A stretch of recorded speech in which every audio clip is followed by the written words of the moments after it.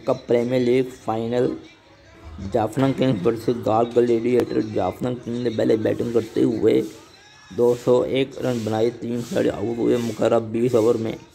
Jaffna king की जाने से फर्नांडो ने रन बनाए और कोलेज मोहर ने 57 रन बनाए नॉट आउट गए। गाल ग्लेडिएटर की जाने पर स्मिथ पटेल ने एक और नवान दुशारा ने भी एक आउट किया। जवाब में ग्लेडिएटर की टीम 202 रन का टारगेट जय करते हुए वन सेवेंटी रन बना सकी। नौ खिलाड़ी आउट हुए। ग्लेडिएटर की जानब से G U N A T H I L K A ने 54 रन बनाए। इक्कीस बानवे कोस्टल मेंडिस ने 39 रन बनाए। अट्ठाईस गेंदों पे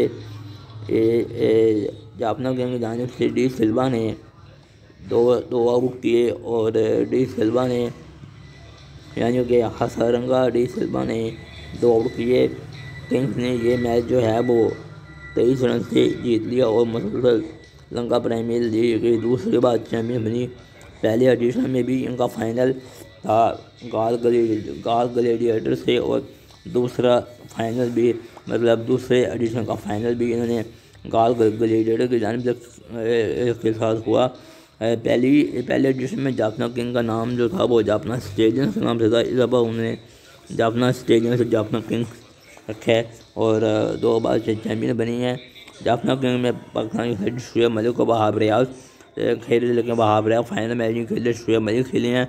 और इधर गाल जानब से मोहम्मद हफीज़ खेले हैं और हफीज़ के साथ वो मोहम्मद आमिर एक्शन में थे, लेकिन अभी गाल के लीडर की टीम को नाकामी का। सामना करना उम्मीद उन्हें हूँ, आपको वीडियो पसंद है, कि वीडियो को लाइक शेयर ज़रूर को देंगे थैंक यू